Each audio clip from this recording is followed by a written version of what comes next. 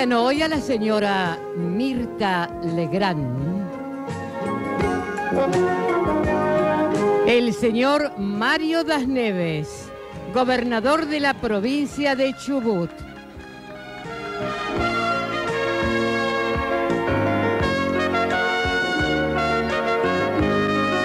El contador Gerardo Morales, titular de la Unión Cívica Radical, senador nacional.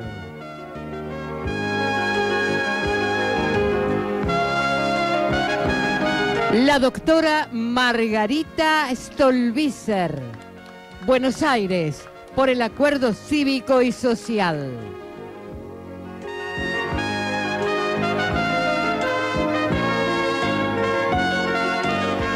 El doctor Ricardo Alfonsín, diputado nacional electo por el Acuerdo Cívico y Social de Buenos Aires.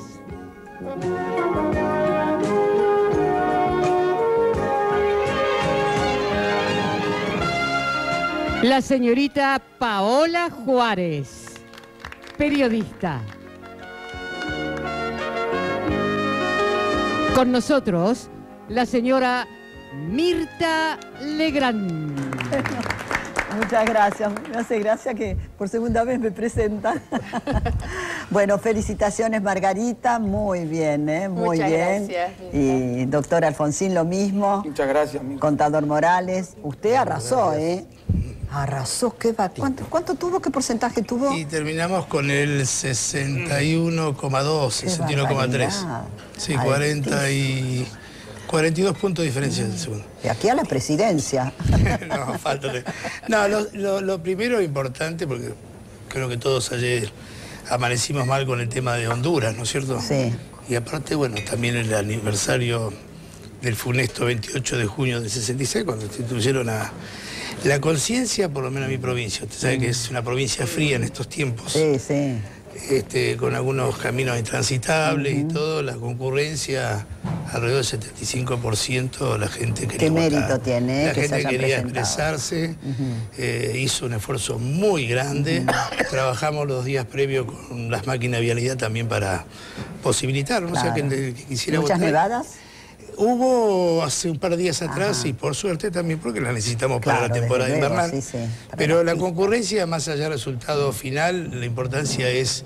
Y hubo mesas en las ciudades eh, como Trelew, como Comodoro, mesas donde hubo una concurrencia del 85 y 90%. Altísimo, muy sí, alto.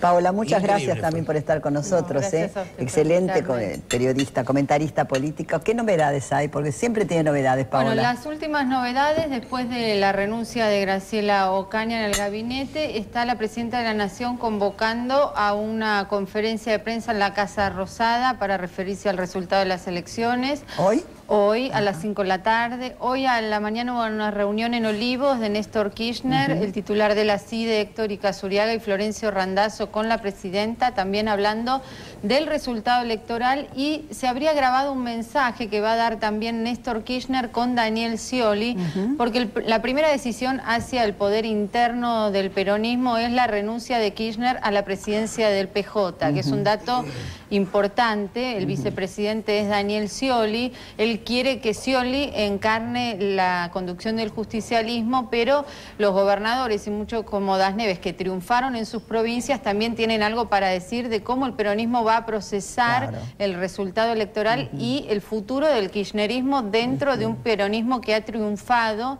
sin la figura de Kirchner en muchas provincias. Pero no debería haber internas. Ah, en eso Uruguay es un ejemplo, ¿eh?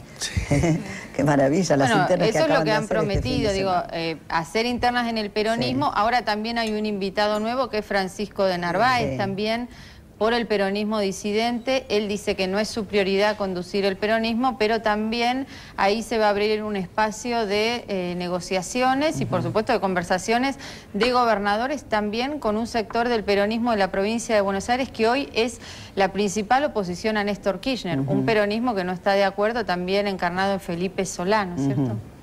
Bueno, si me disculpan, eh, no hay almuerzo, señores. Hay cositas ricas, bocaditos, sandwichitos, así que, eh, doctor Alfonsín, siempre estaba afónico. ¿Usted está bien ahora? Sí, un poco La campaña lo mató a usted, lo mató. Yo lo miraba y decía, ay, que le dé la voz, no le da la voz, pobre. El día que vino acá también eh, estaba, estaba afónico. Claro, todavía seguimos. Todavía sigue. Ya está, ahora sí. Pero cada vez se parece más al doctor Raúl Alfonsín. Más buen mozo, Mirta. Pero... más buen mozo, dicen. ¿Usted más buen mozo? Sí, mejor momento contra mejor momento. Su padre era muy atractivo, era muy seductor.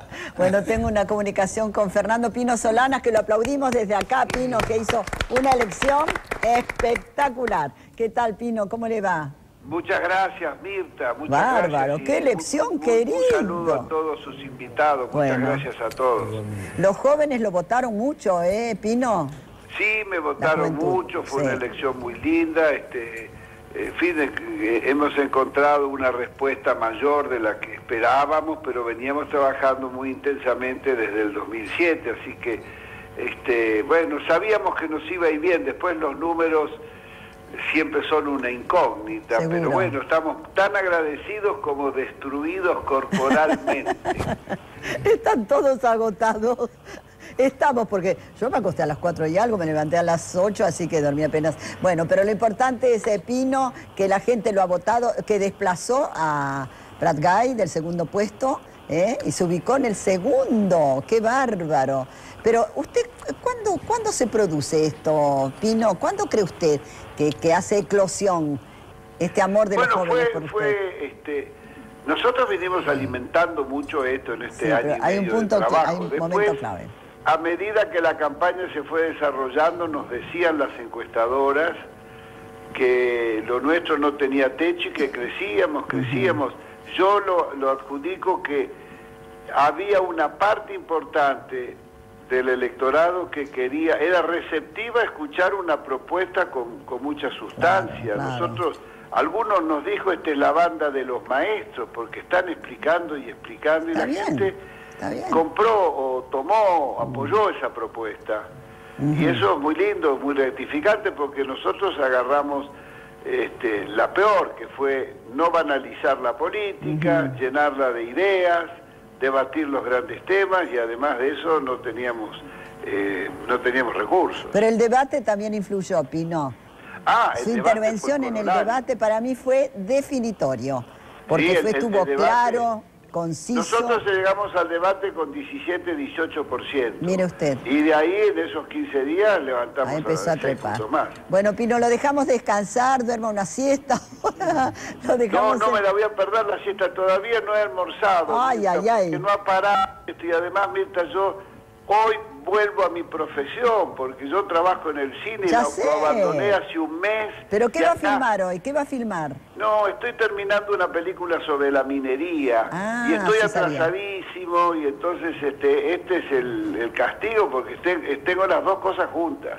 Todavía no vi el cassette sobre Famatina que me hizo llegar sus amigos, ¿no? Unos chicos, unos jóvenes. Sí, y mire cómo se dan las cosas que las dos chicas, las dos educadoras que estuvieron defendiendo el Cerro Famatina y haciendo el corte para que no llegaran a la Barri con esa explotación con cianuro, han sido, fueron golpeadas y han sido procesadas y esta semana van a juicio. Pero no me diga. ¿Dónde, pasó esto? ¿Dónde? ¿Dónde pasó? Esto es en Chilecito. Ah. Eso pasó en abril, en Famatina, que está ahí a 30 kilómetros de Chilecito, en el acceso al Cerro Famatina que es riquísimo en oro, mm. y allí fueron golpeadas eh, Karina Díaz Moreno y Marcela Crave, y la denuncia por, por estos golpes no prosperó y las han procesado por corte de ruta. Qué barbaridad.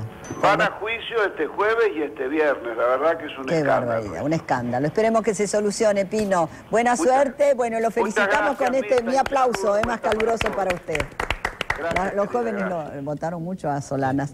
Eh, doctora Stolbizer, bueno, ¿cómo, ¿cómo se siente? ¿Está cansada? ¿Está fatigada, agotada? Cuénteme. No, la verdad es que no. Estoy, no, no, estoy ah. muy feliz. De todos modos, ha sido una campaña distinta. Nosotros, quienes traemos muchas campañas en, en nuestro haber, la verdad es que antes teníamos campañas mucho más largas. No nos olvidemos que nosotros nos preparábamos para octubre la campaña, el adelanto de la elección nos obligó a hacerlo ahora, así que tuvimos que acortar, hacer muchas actividades en poco tiempo, pero bien. Y además, bueno, realmente con la alegría del deber cumplido, de los objetivos cumplidos, una campaña muy difícil sobre todo, pero para los bonaerenses, para Ricardo, para mí el mayor orgullo es haber hecho una gran contribución a un proyecto nacional. Gastando poco, gastando menos que otros. En, el acuerdo cívico se ha consolidado claramente como la fuerza política que ha ganado en cantidad de legisladores, porque se trata de una elección legislativa, cuyo resultado se mide en cantidad de legisladores. Y hoy el acuerdo cívico es el que más cantidad de legisladores ha incorporado al Congreso, tanto en el Senado como en diputados. ¿Cuántos aportes? Ustedes? Y nosotros estamos, creo que el cálculo que nos pasaba recién es más de 40 que se agregan a lo que ya tenemos, 41. Entonces vamos a terminar teniendo un bloque en diputados de casi 80, 78, 80. En el Senado, obviamente, somos la primera fuerza después del oficialismo. Casi con cuántos senadores, eh, Gerardo? Quedamos con 23 senadores, poníamos en juego 8 bancas y obtuvimos 14, es decir, que ganamos 6 senadores más. Y la provincia de Buenos Aires aportó 8 diputados, así que es un número para nosotros Qué realmente bien, ¿eh? que la Cámara se diversifique, ¿no? Claro, por más fin va a haber minoría, por fin, Dios mío, mayoría, minoría, no va a ser una mayoría total y absoluta que hacen y deshacen. Eso no es, no es democrático, eso no sirve, no vale, no está bien. yo creo que, que a mí me parece que un valor fundamental de la República, por lo menos es el diálogo y la búsqueda de consensos.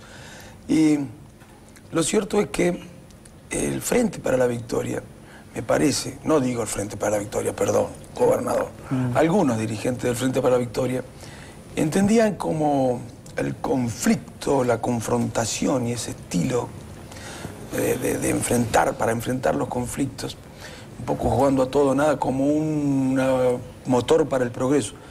Nosotros entendemos que los conflictos se deben reintentar resolver a través del diálogo y del consenso. No hay país en el mundo que haya podido progresar en momentos de su historia en los que los dirigentes se agravian, se descalifican y se crispan a la sociedad. No hay país en el mundo que haya podido progresar así. Que no se dialogue. Y creo que dentro del propio justicialismo se le demandaba esto. Bueno, las elecciones lo demuestran. Ahora lo importante es retomar la agenda de la gente, ¿no? Porque lo cierto es que hemos pasado 60 días en los que la discusión estuvo demasiado concentrada en la elección. Se han ido soslayando algunos de los problemas que son centrales para la gente. Yo creo que hoy todos esperamos que el mensaje de la presidenta de las 5 de la tarde esté vinculado con el tema de la gripe. Y que sea conciliatorio también, ¿no? Claro, pero además necesitamos rápidamente tomar cuenta de la agenda social. La agenda social tiene que ver hoy con los problemas de la salud, tiene que ver con la caída de la actividad productiva en la Argentina, que pone en riesgo los puestos de trabajo, tiene que ver con la seguridad. Esos son los temas que son importantes para la gente. Por lo tanto, tienen que serlo también para los políticos y ojalá hoy la presidenta retome la iniciativa iniciativa y nosotros estamos dispuestos a colaborar con este gobierno. Que hable con todos, es la presidenta de todos los argentinos. Bueno, nunca lo han ejercido en, no, pero bueno, a partir de ahora, esto ha sido un cimbronazo muy grande, entonces a partir de ahora... Tienen que procesar esa derrota claro, Ahora fíjese Mirta... Tienen que canalizar, tienen que sacarle partido, buen partido a esta derrota. Fíjese que ahora no va a haber ningún partido que tenga mayoría en, el Congreso. Son todas minorías. El gobierno va a ser la primera minoría, no, le da para tener quórum propio. La segunda minoría vamos a ser nosotros, vamos a terminar con un bloque de 80 diputados. Así que ese escenario, primero que expresa una cosa, expresa que hay un reequilibrio de las fuerzas políticas, hay un nuevo escenario del poder político en el país. Y después que configura un escenario de exigencia. Primero para el gobierno, para, lo exige al gobierno dialogar. Lo exige a poner los temas que plantea Margarita sobre la mesa y a que busquemos soluciones comunes. Y nos exige a la oposición también, a mejorar la capacidad de generar propuestas. Entonces una elección, como con la que acaba de pasar, es muy importante. Entonces tiene que, es un buen dato, una buena noticia.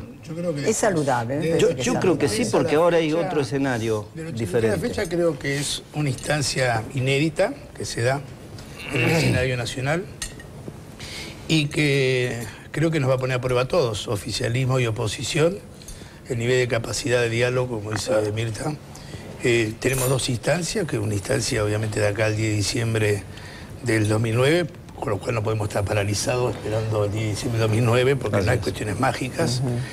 Y sí coincido de que hay que el rediseño de una agenda que no debe ser una agenda de 20 temas, no, no perder... Este, la agenda, la, agenda, la agenda, pero hay agendas que son... ¿Cambios en el gabinete? Eh, el tema de salud es un tema, es un tema, el mm. seguimiento a cada uno de los sectores de la producción, que es lo que está pasando con cada uno, cómo está afectando el trabajo. Me parece que por eso yo, eh, siendo justicialista, lo que digo es, es un buen momento para que la presidenta haga una convocatoria amplia, una convocatoria a todos los que han sido legitimados, creo que es también darle sustancia al sistema eh, y aprendamos, aprendamos eh, a dialogar. Creo que eh, me parece que nos va a ir mucho mejor. Creo que la etapa de la confrontación ayer fue drásticamente sancionada, reprochada por la sociedad. Esto lo hemos visto, incluso este, la provincia, por más que uno haya ganado, eh, lo veníamos planteando con diálogos permanentes con todos los sectores, o sea, eso la gente nos exigía. Creo que fue una, algo que el gobierno nacional no lo percibió y bueno, los errores se pagan. En política se pagan, tarde o temprano se pagan. Por eso yo quiero agregar a lo que vos planteabas al inicio, este paso al costado del presidente del partido me parece que es una buena medida porque también las derrotas este, también uno tiene que saberlas entender. Perdón, en estos momentos está Néstor Kirchner, grabó ese mensaje finalmente de renuncia indeclinable a la presidencia del PJ y lo va a reemplazar Daniel Scioli. Porque es vicepresidente primero, pero Daniel Scioli debería convocar en forma inmediata al Consejo del Partido. Dejo una cosita final.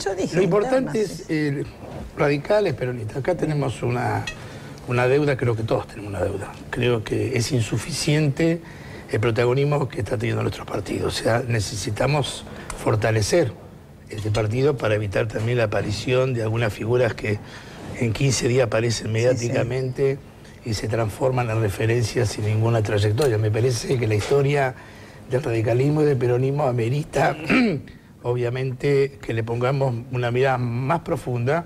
Ahora que vamos a estar un poquito más alejados de las elecciones, empezamos a renovar los cuadros, cuadros que tuvo el radicalismo, que tuvo el peronismo, que tuvo el socialismo. A veces la gente, nos pasa a nosotros, sabemos que la gente está confundida, ¿por qué este, este acuerdo acá y por qué este acuerdo no se... O sea, acuerdos que se hicieron en una provincia, en otra provincia no se hicieron, o sea, mucha melange. Entonces la gente mucha decirle algo como presidente del radicalismo, que, me parece que es importante y que se lo transmita a la presidenta y a Néstor Kirchner. El acuerdo cívico y social no va a modificar la composición de las autoridades de la Cámara de Diputados y del Senado, porque el gobierno queda como primera minoría. No nos vamos a prestar a que sectores del peronismo disidente quieran empujar institucionalmente, eh, poniendo autoridades, eligiendo autoridades que, no tengan nada que ver con que representen al gobierno. Así que llévele. Desde el radicalismo, que nosotros, usted sabe cómo, este, tenemos, nosotros tenemos muchos defectos, pero, no vamos a Pero aparte, eh, más allá de, Gerardo y Ricardo, acá al lado mío hay una excelente dirigente política.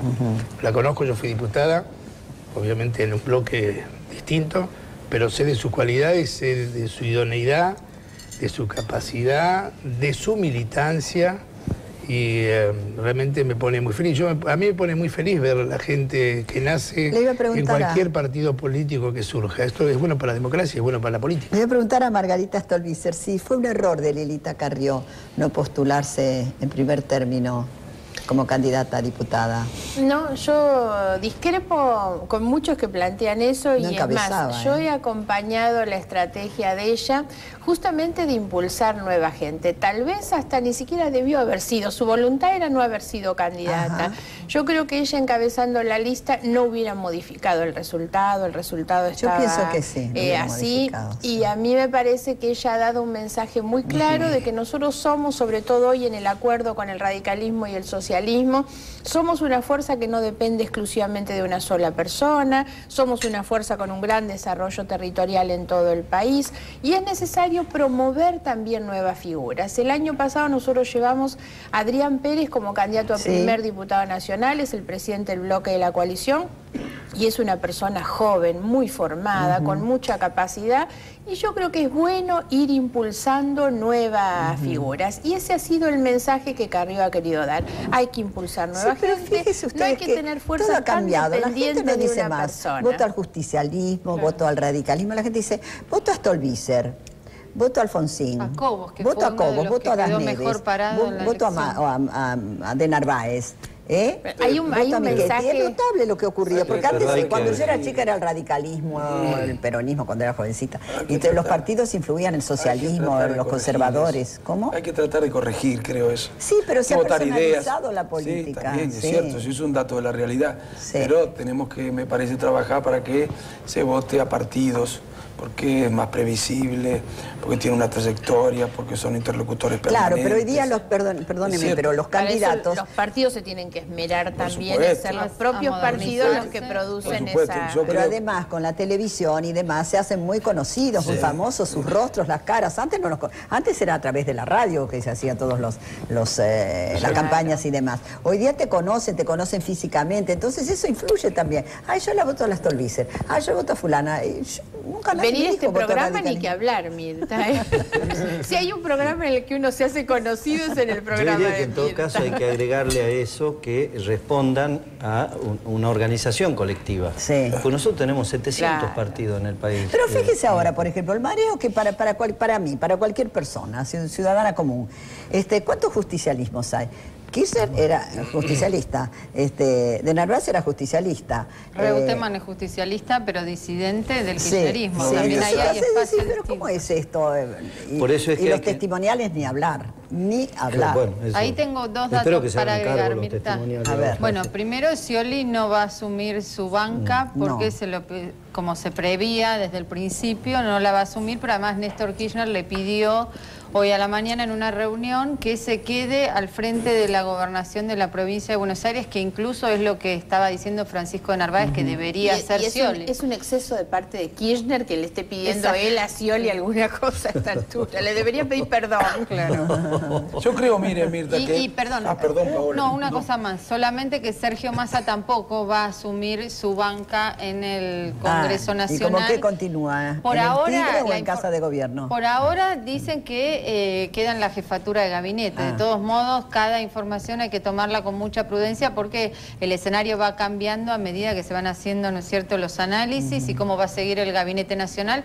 Y si es que los gobernadores, por ahí Das Neves me puede responder, van a formar alguna liga de gobernadores y le van a pedir al gobierno una participación mayor que no han tenido durante... Eh, Engaño, la gente los castigó por eso también. también un castigo ahí. Liga de Gobernadores del, PJ. Nosotros, por ejemplo, eh, la Patagonia, tenemos Jorge Zapata, el Movimiento Popular Nuquino, Miguel Say, radical, eh, peronista, Peralta peronista y Fabiana Ríos de Lari. Sin embargo, nosotros nos hemos juntado muchísimas veces porque tenemos eh, cosas en común, la región. Y yo creo que estas, estas cosas habría que multiplicarlas. Entonces, lo que digo es, eh, volviendo al tema de la producción, que para mí es central, más allá de los temas, obviamente, como digo, de la salud, me parece que es bueno que concertemos este tipo de mesas regionales con gobernadores, más allá del partido que sea, porque tenemos una representación y además venimos con una legitimación, porque si no leemos el resultado de ayer, evidentemente nos vamos a seguir equivocando el resultado hay que leerlo incluso cuando, no solamente cuando se pierde, sino también cuando se gana. Eh, discúlpeme que lo interrumpa, pero a mí me gusta así a nivel popular, que todo el mundo entienda. ¿Por qué cree que lo votaron a usted? ¿Qué hizo para que lo votaran? La gestión. La gestión y el Pero Cuénteme qué hizo de bueno. Yo tengo, bueno, acá lo sabe Morales, eh, eh, Ricardo y Margarita, o sea, en Chubut el radicalismo ha sido muchos años gobierno. Mm. Y ahora tengo, en las dos elecciones que he tenido, he tenido resultados muy fuertes, que significa que hay gente que no es de Pero mi partido. Pero le dio bienestar a la gente. Bueno, eso solo resulta... Bueno, la desocupación bajó del 18,5 bajó al 5,2. Ha visto, sí. La indigencia bajó el 91%, la pobreza el 88% y la mortalidad infantil está en el 8,7 por mil. Está más bajo que la zona sur de Capital Federal. Y podemos hablar de eh, los puestos de trabajo en alrededor de 38.500 puestos de trabajo, un 43,5%. Creo que son los indicadores, son los que marcan de alguna manera Eso hace que la gente vote Más allá de que eh, también está lo otro, lo que se planifica con los municipios, que en Chubut también tenemos muchos municipios que no son de, de nuestro partido, pero nosotros, por ejemplo, pusimos en marcha la tarjeta, descentralizamos todas las los programas sociales no lo maneja la provincia, descentralizamos directamente a los municipios, porque el vecino vive a la vuelta del municipio. Los problemas, al primero que golpean, todos sabemos, venimos a la política. ¿Y va a ser candidato a presidente usted? Eso se verá. ¿Cuántos candidatos hay, Margarita? Así firmes, a presidentes firmes, o que se insinúan o que aspiran a Puede haber muchos, pero a ver, Paola, después, nunca hay que pensar que es malo que haya muchos. Nosotros que hoy somos una fuerza eh, extendida en todo el país, la verdad, creo que nos potenciamos como la fuerza política alternativa más importante del acuerdo cívico, tal vez tengamos muchos. Y esto no tiene que asustar, al contrario, le da mucha potencia a una mm. fuerza política tener muchos. Después lo que hay que hacer es encontrar el mecanismo transparente, democrático, justo, para que los integrantes de los partidos decidan quiénes son los que los van a representar. Pero no es malo, nosotros tenemos que recuperar la política para que la gente pueda creer en la política a través de los referentes, de las, que las personas puedan participar. Estamos en un momento creo que importante. El equilibrio en el Congreso es muy bueno, mejora la calidad. Lo importante es, que todos podamos recibir el mensaje, los que ganan y los que pierdan, porque también es cierto lo que decía Mario, el voto es muy volátil. Ya la gente no vota a alguien definitivamente y el que no hace las cosas bien sabrá que también a través del voto va a ser condenado, ¿no? Eh, Paola iba a comentar algo tres que quedan posicionados ya por el voto de las urnas desde la oposición, Julio Cobos porque ganó por un amplio margen, aunque también hay dirigentes radicales como Sanz Reutemann, que, estuvo ahí. ¿eh? Sanz también puede ser Por eso puede ser un candidato, exacto, porque fue él el candidato. Y después está Reutemann, ¿no es cierto? Que ganó por poco, él dice contra todo el aparato del gobierno socialista e incluso del propio Néstor Kirchner que estaba tratando de que a Reutemann no le fuera bien para quedar eliminado. Y Mauricio Macri es es otro que si, decide ser candidato a presidente queda posicionado a partir del, del Rodríguez de Francisco Las Neves. Rodríguez Claro, y todos los gobernadores. no, no, no aspira también a ser electo Menem, el expresidente, doctor Menem. Silencio, ya cada vez que presentó otro se hace un silencio. Él quiere ser, él quiere ser. Esta mañana lo comenté también un silencio total. que ya está. Pero yo, creo que Él lo ha manifestado hace poco. ¿eh? Se, va configurando el, escenario para el 2011. Me parece que, el kirchnerismo, el gobierno, el PJ, ahí de Narváez, bueno, bueno Macri tendrá que tomar una decisión, Reutemann, Schiaretti, eh, que tienen más bien un formato de que van a buscar disputar el control del PJ y desde el PJ tal vez eh, ser alternativa. Hay que ver qué pasa en el peronismo. Y después está el acuerdo cívico y social, que hemos logrado, ganamos la elección, Mirta, mm. obtuvimos la mayor cantidad de votos, Este, que tiene, eh, eh, ha logrado una organización federal y nacional y que va a tener varios candidatos, como, como Julio Cobos ha tenido un gran resultado, está Ernesto Sanz, Oscar Aguat ganó bien muy bien en, en, Córdoba, Córdoba. Muy bien, muy bien. Biner sigue en carrera. Bueno, Lilita Carrió, a pesar del resultado de la capital, Estuvo recorriendo todo el país y, logramos constituir una fuerza nacional. ¿no? Me están poniendo que tengo que ir al corte. En un momento pensamos que perdía Reutemann. Que, sí, porque empezó con 10 puntos con los boca de urnas y terminó muy parejo. Sí, sí, sí, ya pierde, pierde. Que, Fue una elección muy, Claro, pero muy pareja. Muy pareja. Ahora Rubén Justiniani empieza con 20 puntos abajo, ¿no? Sí. También es una gran fue subiendo, ¿eh? Así que quedaron palo a palo ahí. Pero juez, juez también estuvo. Yo creo que va a ganar por mucho más, ¿eh? Luis Juez en Córdoba. Pero bueno, fue solo también. Y ahí estamos los radicales que nos estamos recuperando, Mirta. Ahí estuvo. ¿Eh? Había diputado, ganó Oscar Aguad y ahí cerquita Ramoncito Mestre nomás. Ramoncito también estuvo con una gripe, está con una gripe bárbara, por eso no ha podido estar presente. una elección extraordinaria. Muy bien, Ramoncito Mestre, muy bien, muy Creo, bien. Mirta, que es clave lo que hagan también los gobernadores del PJ. Por ejemplo, Das Neves ganó. ¿De quién es el triunfo? ¿De Das Neves o también lo comparte con el gobierno nacional de Cristina Kirchner? Eso también es importante. Yo soy generoso. por eso, por eso. Hasta ahí nomás. Uno puede ser generoso, te puede quitar amenazado. Claro, por eso digo. Pero, pero el triunfo es mío. El triunfo de la comparto gente con nadie. que votó. Yo triunfé, no lo le- mi votaron Lo a que yo no nunca, lo que nadie. nunca he negado que soy justicialista y también digo lo que no lo digo hoy, que a 24 horas ¿Pero es resultado- kirchnerista usted? No, por eso lo digo, lo he dicho siempre. Sí, claro. Y aparte yo preanuncié el fin del kirchnerismo. Y lo Fue dije uno de los primeros que El domingo antes de la elección de Cristina Fernández de Kirchner.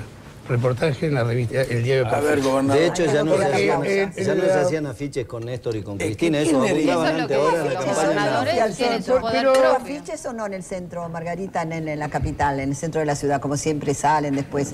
No creo Sí, que hacían sí, algunos, ahora no, no, pero así este irónicos como han salido a veces. A el gobierno, no, el gobierno no No, saca el gobierno No Tal vez han tenido que guardar algunos, porque después del furcio y del papelón de Albistur y ye- ayer, capaz que Albistur tenía algún cartel la preparado para Mira, pegar seis, ¿eh? seis y y los cinco, han ¿no? tenido que esconder. Yo decía, eh, había, sí, había estado acá de Narváez, ¿no, Francisco? Que se- con una seguridad total dijo, no, nosotros ganamos, yo gano. Cuando salen al Bisturi y a Valmedina era, ¿no? Sí. Diciendo que ganaba, yo decía, pero o sea, y entonces yo tenía, esto lo conté recién en otro bloque, tenía un grupo de amigos que me decía, pero a vos no te dijo que iba a ganar, sí, y me hacían como responsable, Yo no te- pero a vos no te dijo, sí, lo dijo, pero estos señores están diciendo, eran el comienzo que parece que no correspondía tampoco que hicieran esa, No. esos No, anuncios, ¿no es cierto? Tengo que ir a la pausa. Los tengo que despedir porque tengo otra mesa. Yo quiero que sepan que está, está en la terapia intensiva afuera esperándome. Bueno. Margarita Stolbizer, son chistes que yo hago, ¿no? Por favor, cumpla con todo lo que prometió. Tengo 40 años y no consigo trabajo, Sandra de Villatesey, y le deja un teléfono a Muchas Margarita. gracias. Margarita, yo quiero decirle cuánto la quiere la gente. Bueno, cuánto la muchas admira, gracias. cuánto la aprecia y cuánto la respeta. ¿eh? Eso hay que decir, lo que viene luchando hace años. Y bueno, y, y yo ayer me alegré mucho verla y festejando lo mismo que al doctor Ricardo Alfonsín. Gracias. ¿eh? Gracias. Doctor Ricardo Alfonsín, la fórmula presidencial puede llegar a ser Cobos, Ricardo Alfonsín, Elena de Belgrano, pregunta. No, no se me ocurre eso. Puede ser, puede ser, se A lo mí digo con casa cosas que yo le digo, oh, no, no, no, no, Habré preguntado bien. Gerardo Morales, gracias por hacer que el radicalismo vuelva con todo. Un beso, Romina de Córdoba. Muy bien por el radicalismo, muy bien. En muchas localidades apoyamos a nuestro intendente, pero le dimos una lección al gobierno. Muy bien, Élida, de General Villegas, provincia de Buenos Aires. Mario Dasneve, felicitaciones por el triunfo. Un beso muy grande, Luciana de Comodoro Rivadavia. Doctor Ricardo Alfonsín, gracias por mantener en alto la memoria de su padre. Un beso, Ana de Bahía Muchas Blanca. gracias, Ana. Felicitaciones por, eh, por el programa de hoy. Es un lujo para la televisión. Esta es mi hermana Goldie.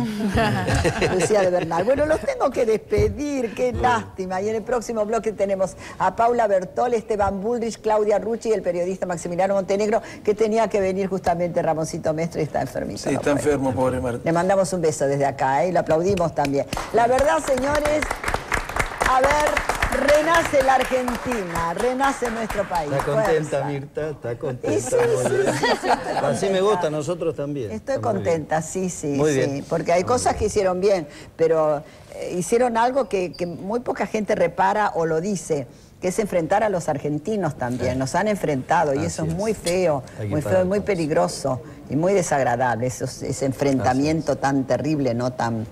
No me miran como diciendo que... no, Eh, yo eh, lo- yo lo pienso así, yo, Yo, lo- pienso pero aparte así. yo lo he cuestionado públicamente. Claro, claro. Esto lo he dicho públicamente en el momento que correspondía. Los felicito por su triunfo. Bueno, eh. 50 ¿Y cuánto sacó? 50 y algo, ¿no? 61,2. Ay, Dios mío, arrasó ahí. Qué barbaridad. Muchísimo. ¿Quién era su contrincante más? eh, No, eh, digamos, el candidato a nuestro a, a senador, bueno, lo conoce Gerardo, es Radical. Marcelo Mario Guinle. Somadevila, que viene Claro, senador. eh, Ah, senadores. el, el nuestro era el doctor Marcelo Guinle, que ya es senador. la ministra de Salud, la doctora Graciela Diperna, y por la minoría entró Mario Sima de Villa. Y en los diputados, los dos, eh, los dos que propusimos fueron votados. Este, Mario Vargas, el ingeniero Mario Vargas, un hombre que sabe mucho de campo, de, ¿Hay cambios en el gabinete, Paola? Bueno, el ah, primer cambio es el de Ocaña y ahora se están analizando, se habla del Ministerio también de Economía, de la jefatura de gabinete, hay que esperar, están haciendo evaluaciones, pero no se descarta que haya más cambios porque el gobierno lo que quiere es recuperar algún tipo de iniciativa después de esta derrota. Se hablaba de la doctora Garré también, ¿no? Se hablaba de la doctora Garré, del ministro de Economía, Economía. y de Economía no le conocemos la cara ni la voz. Hay que tener ministro de Economía. Claro, hay que nombrar uno. ¿Eh? un equilibrio. O teníamos algunos con exceso, o algunos que... no, no puede ser. Pero están reacomodando todo el poder. Déjeme agradecerle a, todos los que nos acompañaron. Sí, cómo no. Y decirles que muchísimas gracias por confiar en nosotros y que vamos a seguir trabajando por consolidar este espacio que ya es mayoría a nivel nacional. Bueno, muy muchísimas gracias. Los aplaudo, señores, y muchísimas gracias. Ha un placer tenerlos acá. ¿eh? Muy bien, nos vamos a la pausa y tenemos una tercera mesa. Miren lo que me ha organizado mi equipo, qué barbaridad. Pero me gusta, me gusta, hasta ahora andamos bien. Vamos a la pausa y volvemos. Gracias, Margarita. Muchas gracias, Paola, querida. Gracias, doctora Alfonsín. Muchas gracias.